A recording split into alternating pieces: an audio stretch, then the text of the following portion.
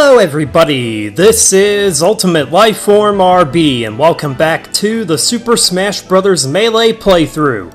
Last weekend we covered training mode and versus mode and for this episode we are returning to one player mode regular match because it is now time to do our final run through All-Star mode because ladies and gentlemen, this is the finale of the Super Smash Bros. playthrough. So, Let's pick our character, and let's finish off this playthrough.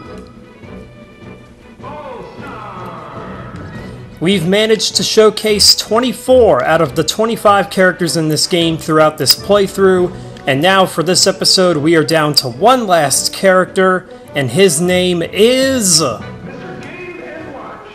Mr. Game & Watch. Mr. Game & Watch is typically the last character most people are going to unlock in this game. To make Mr. Game & Watch appear, you have to complete either Classic, Adventure, or Target Test with all other characters. So all of the other characters here besides Mr. Game & Watch, you have to complete all of those modes, or one of those modes at least, at least once. Or you can play 1000 versus matches to make Mr. Game & Watch appear. And for this run, the I originally intended to do this run on normal, but I hate to say it, but normal mode All-Star is kicking my butt with Mr. Game & Watch. So unfortunately, I really hate to do this, but I'm going to have to put the difficulty down to easy for the sake of actually getting this video done, because I've already tried multiple times with normal, and it's just not working out. So let's go ahead and get started. Regardless of the difficulty level, I'm going to get this video done. So here we go, the final mode, or the final run through All-Star mode for this playthrough starts off with Captain Falcon. So we're going to get a tough opponent out of the way immediately. And uh, we're going to see what Mr. Game & Watch is all about, because Mr. Game & Watch is a very unique character, one of the most unique characters in the entire game, in terms of move set and how he... really how he is in general. And we take out Captain Falcon with the hammer. Very nice start, and we are going to continue on because we've still got some ground to cover, and we are going to be facing the Ice Climbers for the final time.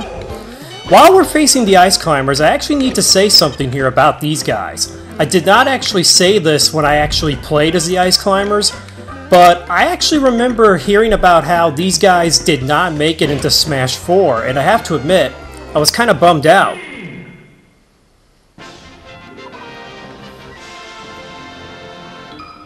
Like, really, I'm not an Ice Climbers fan. I don't normally use them, but I was kind of bummed out when I heard that they didn't make it into Smash 4. I think it was some technical reason with the 3DS, but one reason or another, those guys didn't make it.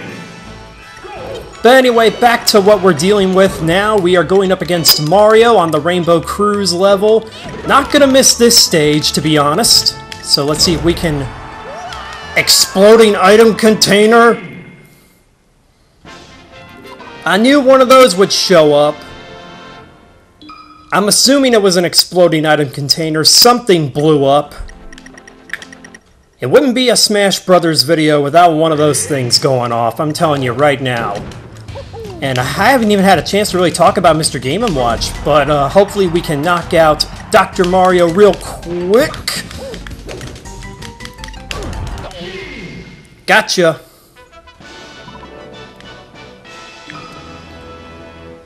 Alright, now that we have a chance, let's talk about Mr. Game & Watch for real.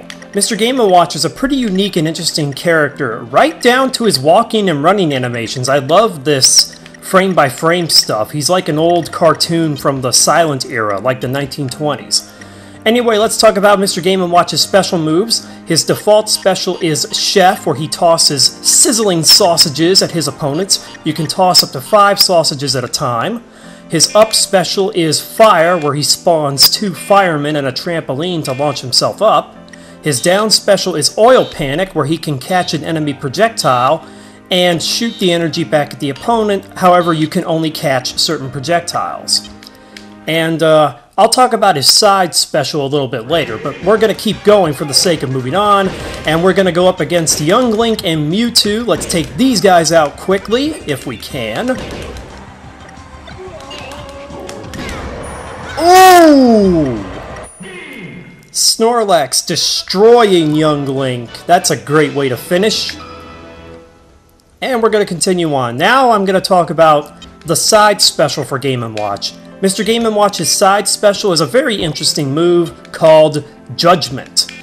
Judgment will cause a number to appear over Game & Watch's head. The number can be either 1 through 9, and depending on the number, different things will happen.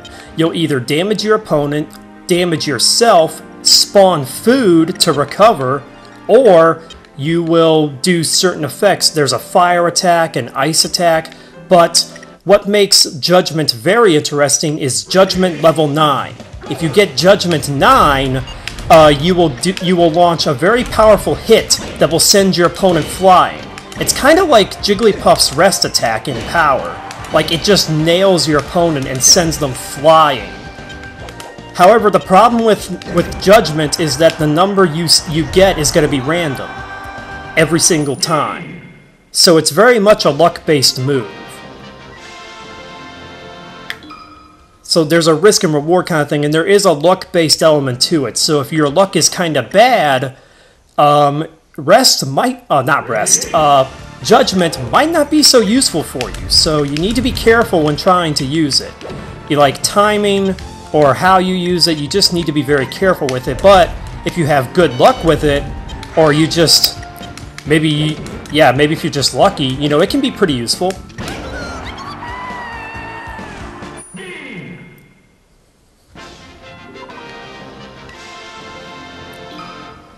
Another one bites the dust and we're moving on. So, since we're using Mr. Game & Watch, I guess I ought to talk about his history, because Mr. Game & Watch has a pretty interesting backstory.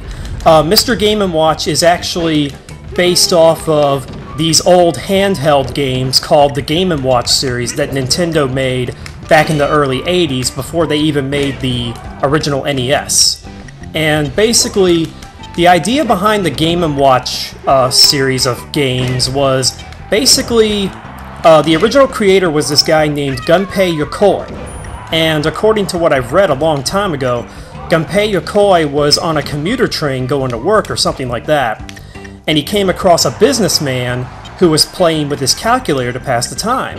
So Gunpei Yokoi decided, why not create a little handheld game to help people pass the time? So that's basically where the Game & Watch came from. And the Game & Watch name was a reference to the fact that the device both contained a game and a clock, so you could keep time while playing your game. There were over 30 different variations of the Game & Watch, and each Game & Watch variation had its own unique little game. So every time you got a new Game & Watch, you were getting a new game, essentially. And BAM! Almost a triple KO on that round. Yes, nicely done. Also, a couple other facts about Gunpei Yokoi. Gunpei Yokoi also created, he was also one of the original creators of Metroid, and he was also one of the people behind the original Game Boy. So, Gunpei Yokoi and the Game & Watch in general are two pretty important factors in the history of video games. So, thank Gunpei Yokoi for the entire idea of a Nintendo handheld console and stuff. Unfortunately, Gunpei Yokoi died in a traffic accident, I believe in like 1997, so RIP, sir, but you are not forgotten. Your legacy is very much still alive in gaming.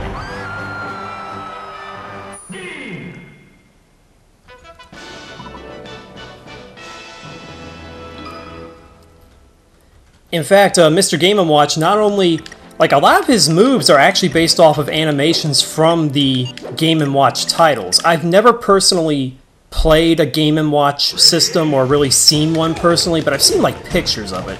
Something tells me they're rather hard to find these days, and I highly... I'm not even sure if... Did any of the Game & Watch toys even come to America? Well, I hate... I'm not sure if toy's the right word, but, you know...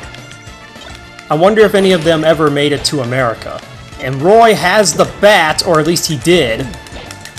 Like, I didn't want him to have the bat there. Even if it's on easy difficulty, he still probably could have gotten me. And anyway, this was a, it was around this point in each run through when I tried to do this on normal, where I got to the 1v3 and I would just get annihilated. Like, I don't know what it was. I don't know if it was just Game & Watch as a character or what, but I was just not having a good time trying to go through on normal when I got to the 1v3s here with Game & Watch. I mean, I know I can beat this, I know I can beat this mode on normal, because I did it with Roy last time we did All-Star. Speaking of Roy, there he goes.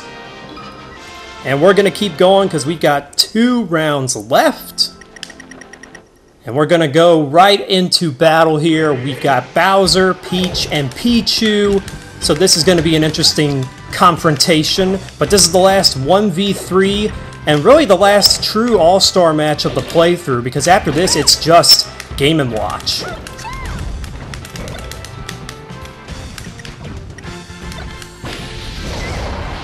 Alright, there goes Bowser. Who's next? Who's next? Oh, poor Pichu. Worst character in the game, ladies and gentlemen. And I get Goldeen. Oh, I got something for you, Peach. Or not! I'm gonna throw the bat at her. Too bad she deflected it with the shield. That was embarrassing. Come on. Oh my goodness. I was getting a little nervous back there. I can't believe she actually blocked the home run bat when I threw it. Like, I didn't want to take a chance on trying to use it normally and getting interrupted. So I thought I had her by throwing it. But here we go, folks. The final... The final match of the playthrough, essentially. It's the Mr. Game & Watch Gauntlet. So let's go ahead and end this on a high note. And I'm gonna do it just like I usually do it when I go to this point. Up smash for the win. How fitting that the final match of the playthrough is actually a mirror match, since it's Mr. Game & Watch against a, against a bunch of other Mr. Game & Watches. Come on down! Yes! We did it, folks! That is it for All-Star Mode, and that is it for this playthrough. We are finally done.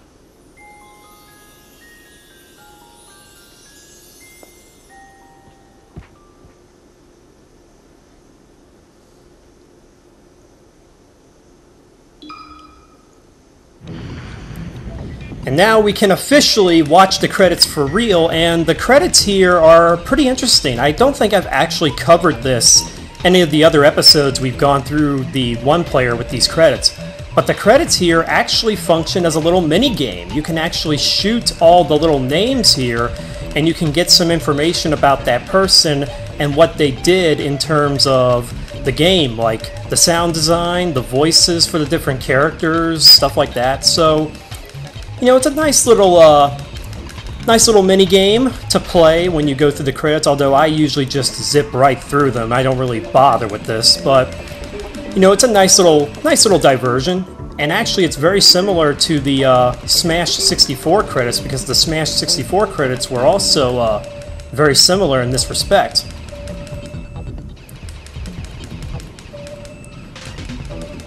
And we should be approaching the end of the credits right about... Uh, there's Satoru Iwata, rest in peace, sir. Shigeru Miyamoto. And... All the other little game developers that contributed their characters, HAL Laboratory. And that's it, folks.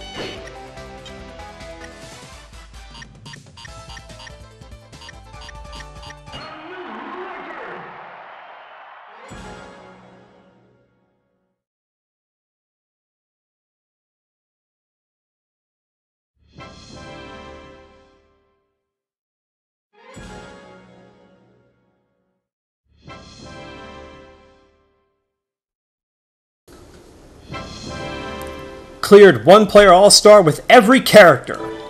The Mr. Game & Watch trophy. And there it is, ladies and gentlemen. We have finally covered every mode in one player. We have showcased every character. We've gone through every event match. We've shown everything in stadium and training. We've covered versus mode. I'd have to say that we're finally done with this playthrough. Let's take a quick look at some of our spoils, like our trophies. We're going to finish, it seems, with 283, about 7 trophies short of all the trophies in the game. It's about 290 overall. But I'm not really going to worry about that because I never I never intended to go for all the trophies, but I say we got a pretty good haul, all things considered. And uh, let's take a quick look at our trophy collection. Pretty nice little collection right there. And we're going to show off a few extra things uh, just for fun to finish off this episode. Uh, in the data, you can look at things like snapshots where you can look at pictures that you've taken in camera mode in versus mode. You also have the archives where you can look at a couple movies. There's the Super Smash Bros. bonus video, which is actually a character video. And then there's the tutorial how to play video. There's also the sound test where you can play sounds and music tracks from the game. Uh, this is only unlocked after unlocking all the characters and all the stages. And then you have Melee Records where you can look at versus records. Basically, you can look at things like uh, most most KOs by one character against another, number of falls, like like the times you've been knocked out.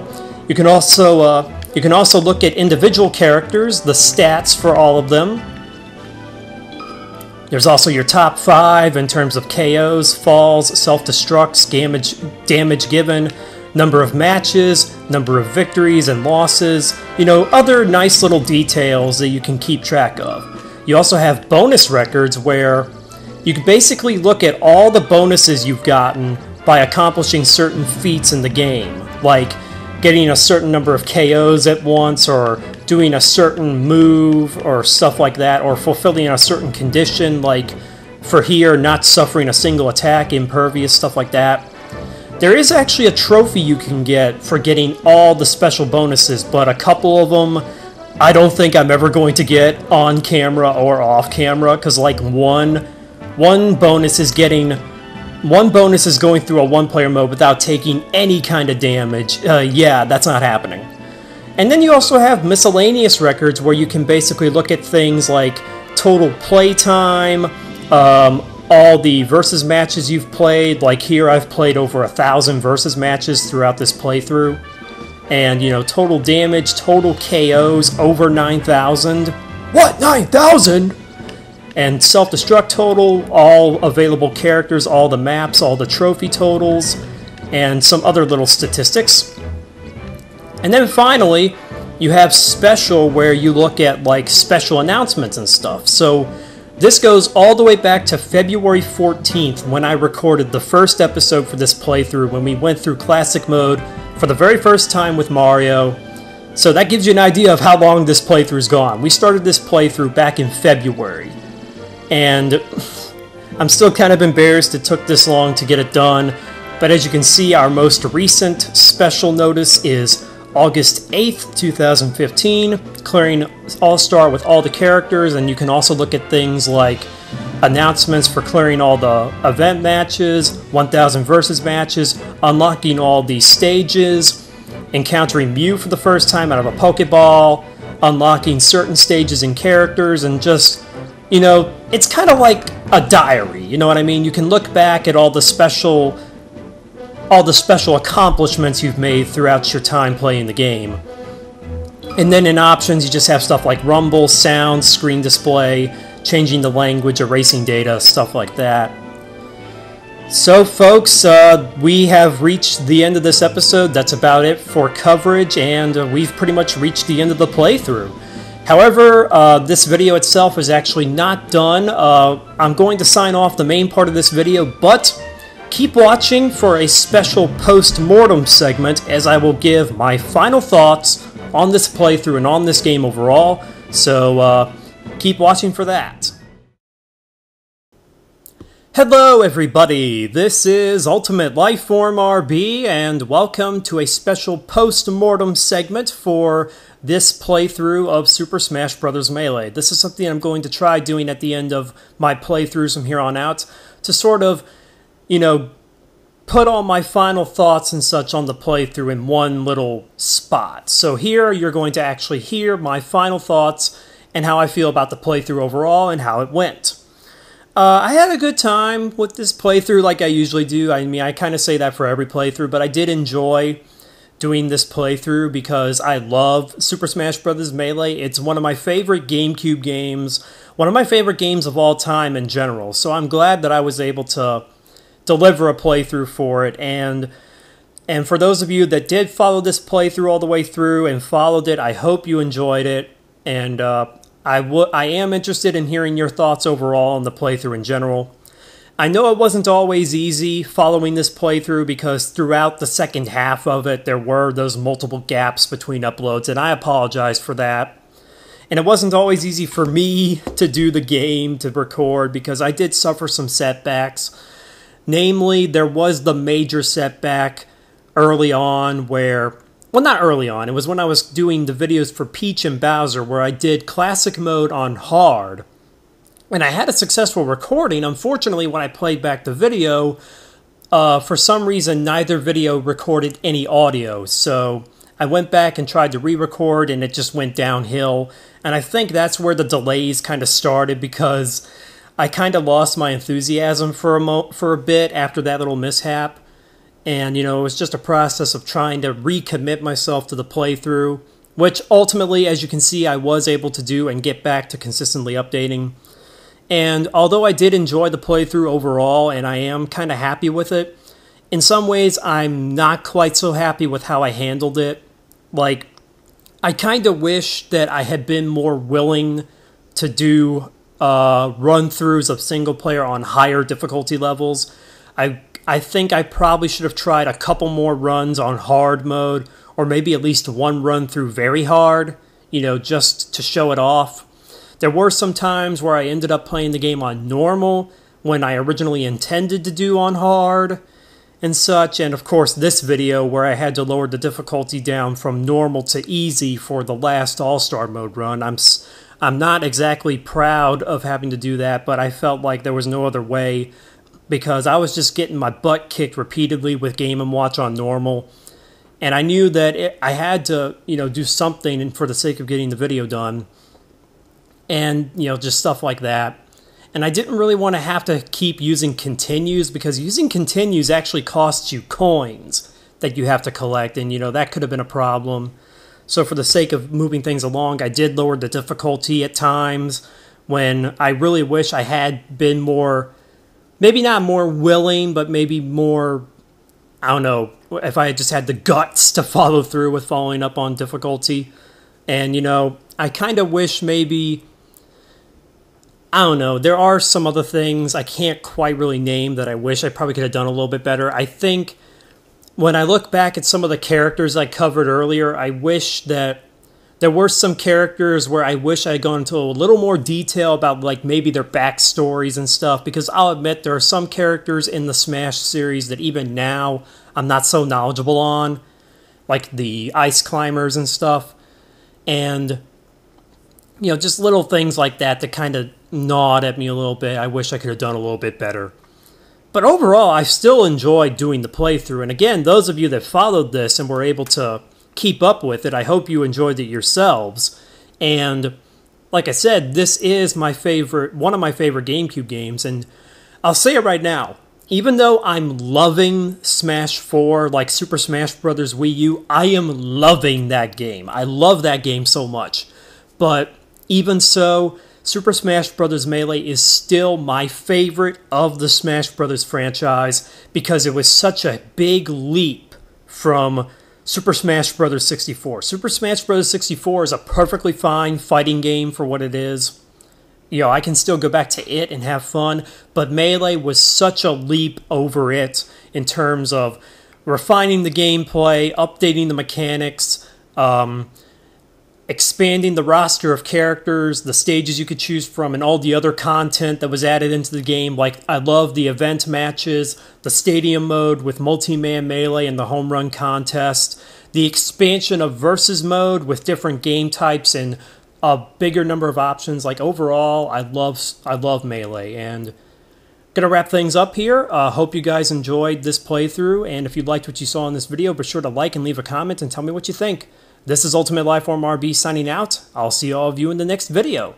Also, if you would like to see me do Super Smash Bros. Brawl, be sure to say so. I am considering that game, but I want to know what the people have to say, if you will. So be sure to give me your thoughts on this playthrough, and if you want to see Super Smash Bros. Brawl in the future, Ultimate Lifeform RB signing out. I'll see all of you in the next video.